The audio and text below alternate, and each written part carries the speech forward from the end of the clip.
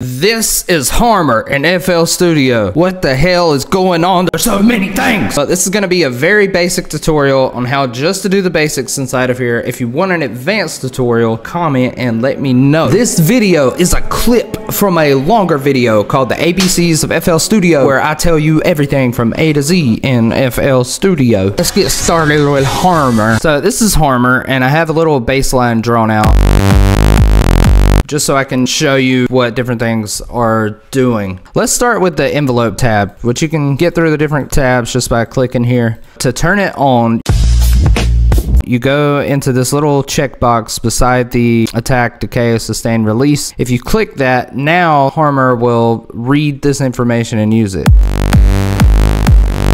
And for some reason, when I try to change the release on the actual knob, it won't change it so I just have to do it by clicking and dragging these points. And then if you don't like it you just uncheck right there and you're back to normal. Now the cool thing about this envelope thing is if you click right here you can literally choose anything, any parameter to make an envelope with. And this is really useful, especially for filters. And speaking of filters, let me show you where the filters are. This section right here with the one and the two are your filters. You can choose between a bunch of different types. The crude low pass is basically just a low pass with a really sharp cutoff. And you can right click anything in here, like the filter for instance, and go to edit articulator. And then you can draw a filter shape. And this is basically the frequency spectrum. So the lower you go down, the lower the frequency. Also, if you want to make a pluck without doing all of that automation and stuff, they do have just like a pluck knob, which is interesting. Interesting, which is interesting. The only bad thing about it is you can't be as granular as you could just like automating filters and whatnot.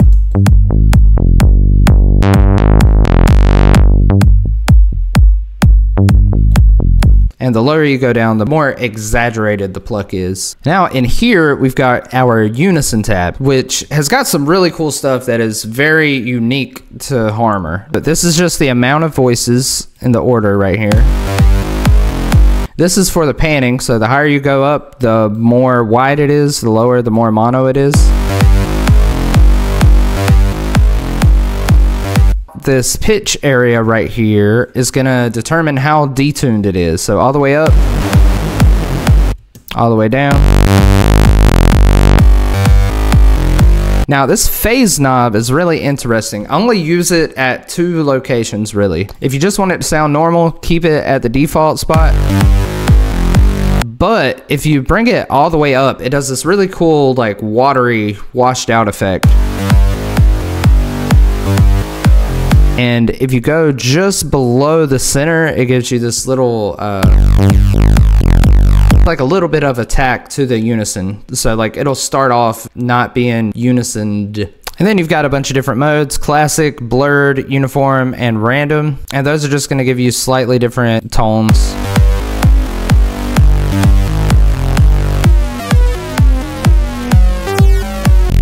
The only problem with uniform is sometimes you run into phase issues and it's not going to sound the same each time. A really interesting one is Hertz. It doesn't really sound good with a high amount of voices. But if you take it to like three voices and you leave the pitch down some and the phase down some, has some really interesting robotic type of sound to it. Now up here is your oscillators. You can choose between the saw wave or the square wave. Or you can choose to have a mix of both by turning this mix knob.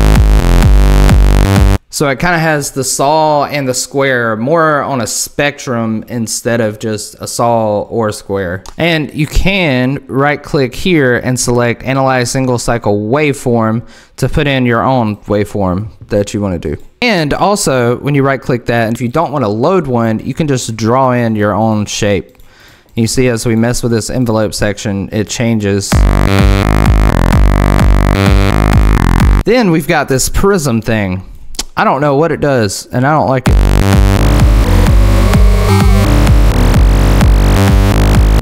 It's probably cool for some dubstep basses or something, but I pretty much don't touch that. I'm sure uh, Seamless or someone has a good description on what that is. Then we've got our harmonizer. From what I can tell, it sounds like it just pitches everything an octave up.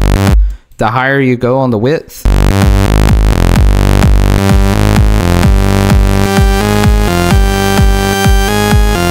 And this determines how loud those harmonics are, this uh, strength knob right here. Sometimes what I like to do is have the width really low and have the strength high, so those like low mid harmonics really come through.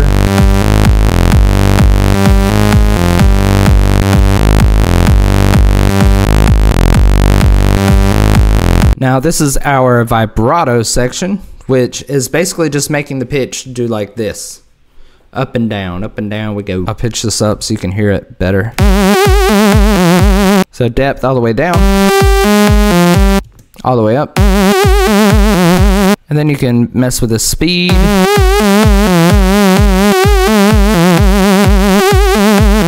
If you want to make something sound kind of lo-fi, you could have the speed really high and the depth lower. And then one really cool thing about this plugin is you have an A section and a B section which you can click between and you use this little part right here to determine how loud each section is. You use this, you toggle this on to activate the B section. So let's say you wanted one that is just a regular saw wave, but then on B, maybe you wanted some detune to it, and then you could change this to a high pass. And then that way you've got something wide on the B side while not interfering with the low end. And you can also right click any parameter and go to copy to part B if you just want to copy like the position of a filter or something like that. Then over here, you've got your little phaser. And this width knob is just like any other phaser. So you can mess with that and the speed to give you different effects. You can also change the waveforms of the phaser. Then we have an image tab where you can actually put images into there and mess with it, which would be a whole video on its own. So if you want to see that, let me know.